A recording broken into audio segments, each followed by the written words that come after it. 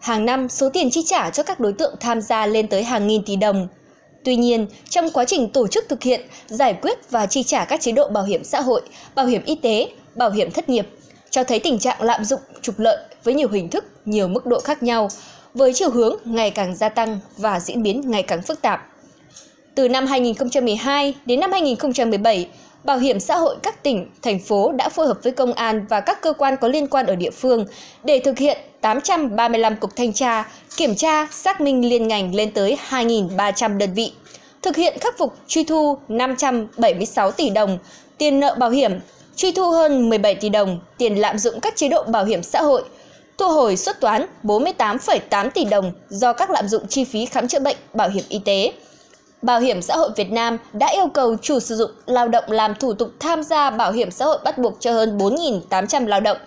Qua thành kiểm tra xử lý các trường hợp vi phạm cho thấy các tổ chức, cá nhân lợi dụng kẽ hở của pháp luật và một số quy định chưa chặt chẽ về bảo hiểm xã hội để thực hiện những hành vi lạm dụng, trục lợi, đặc biệt là các chế độ ốm đau, thai sản. Cái nguy hiểm nhất hiện nay là cái tâm lý trục lợi đương nhiên đang tương đối phổ biến trong cái xã hội hiện nay và những đối tượng trục lợi thậm chí là cả giáo viên rồi nhân viên ở ủy ban nhân dân xã các thứ.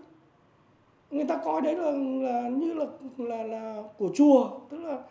ờ, được thì là tốt mà trả được thì cũng không sao. Lực lượng cơ quan điều tra đã điều tra hơn 70 vụ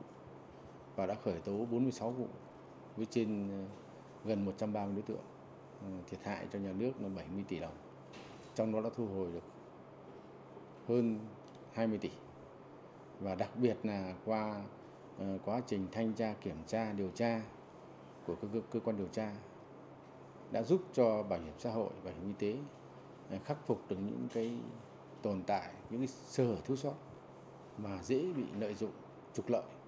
Nó đây là một trong những cái có thể nói là mong mỏi của ngành bảo hiểm xã hội vì chúng ta vẫn đang đánh giá là một trong những cái hạn chế là cái chế tài của chúng ta chưa đủ mạnh à, chúng tôi có một niềm tin rằng với cái chế tài đó thì đủ sức gian đe và cũng là một trong những cái à, công cụ một trong những cái điểm tựa để cả lực lượng cảnh sát của tổng cục cảnh sát của công an các địa phương cũng như là lực lượng thanh tra kiểm tra của ngành bảo hiểm xã hội sẽ hoàn thành tốt hơn những, những cái nhiệm vụ những mục tiêu đã đặt ra.